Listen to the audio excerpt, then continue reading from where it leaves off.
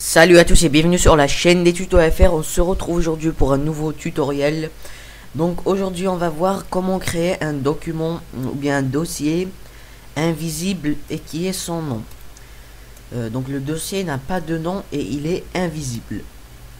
Alors je tiens à préciser que pour... Euh, voilà quoi, que ça marche que pour les dossiers. Je sais pas si ça marche pour les documents texte et tout, mais bon, moi j'ai testé avec un dossier et ça a bien marché.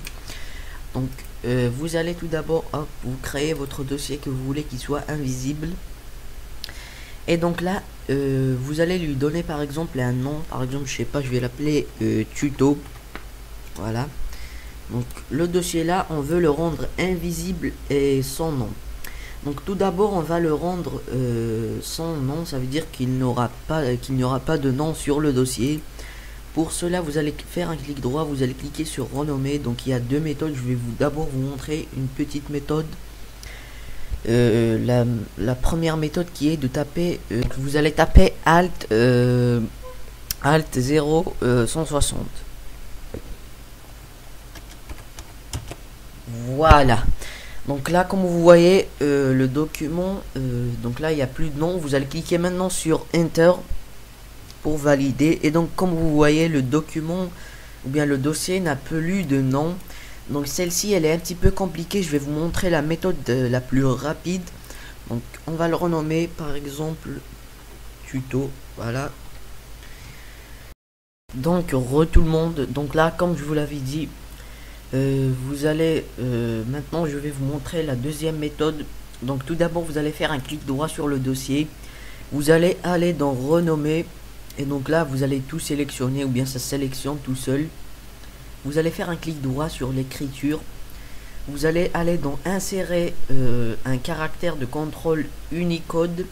Vous allez aller à côté et vous allez euh, soit choisir euh, marque de gauche à droite ou bien marque de droite à gauche. Donc je vous conseille la première. Et comme vous voyez maintenant, il ne reste plus qu'à cliquer sur Enter au clavier et le dossier devient sans nom. Donc là, on a le dossier qui n'a plus de nom. Donc là, on va voir comment euh, enlever ou bien enlever le, logo du dossier ou bien le rendre invisible complètement. Donc pour cela, vous allez faire un clic droit sur le dossier, vous allez aller dans les propriétés, vous allez cliquer sur euh, personnaliser et vous allez choisir changer d'icône.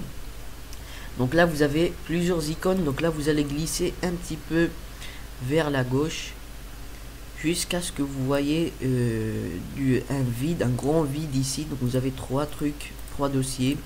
Donc vous allez choisir l'un des trois. Donc moi je vais prendre le premier. Vous allez cliquer sur OK, appliquer, puis OK et le dossier est invisible. Donc moi ça me fait un petit bug, je sais pas pourquoi d'ailleurs. Mais normalement euh, le dossier deviendra invisible pour vous. Je sais pas pourquoi ça me le met d'ailleurs comme ça, mais en tous les cas, le dossier normalement deviendra invisible pour vous. Donc pour le pouvoir euh, le voir, vous allez juste le sélectionner comme ça, il va s'apparaître en bleu. Donc je pense que c'est tout pour cette vidéo, j'espère qu'elle vous aura plu, n'hésitez pas à liker, partager, commenter et de vous abonner. Et moi je vous dis à la prochaine, allez ciao